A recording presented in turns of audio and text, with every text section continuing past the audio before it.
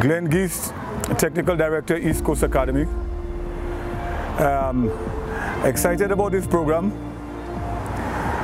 In keeping with the old adage, it takes a village to raise a child.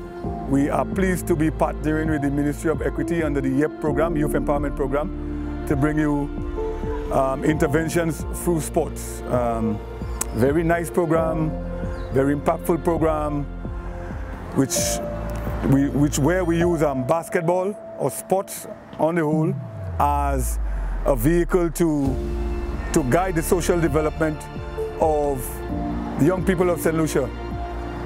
Very happy to um, have gotten a, a, very willing partner in the Ministry of Equity and um, yeah, we, we were, we were looking forward to something like this. So far we have like at least 75 kids in the program, ranging from the age of 6 to 16. We have one or two 18 year olds, but between 6 and 16 is the main, the main, the main group. And we have the programming every day except Fridays.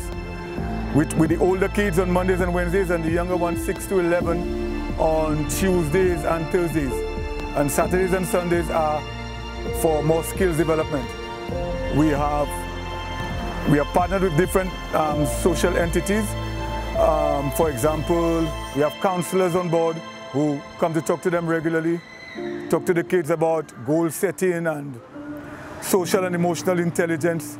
We're also working now closely with um, an officer at the Ministry of Agriculture to get a program going called um, Plant Grow It, which also has a facet of goal setting in it as well.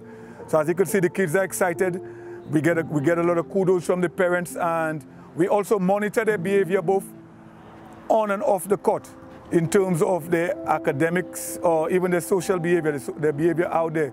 We try to keep a close look on that and at least try to give them give them a home, give them a base. East Coast Academy as a base, as an as a home, as an outlet, somewhere that you could feel safe, a safe space. You know what I mean? And they love it. The program has been growing from strength to strength, and every, eh, at least every other week we have, we get two or three new participants, and only by referral, you know what I mean? Only from referral.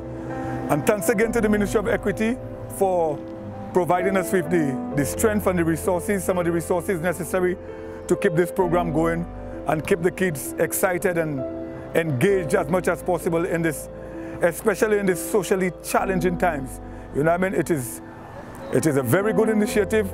We welcome it. We thank the Ministry of Equity and we look forward to a long, very long-standing relationship and to increase the programs, increase different facets of the program, add different social aspects of the program like camps and whatnot. Thanks again to the Ministry of Equity and the, the Youth Empowerment Program.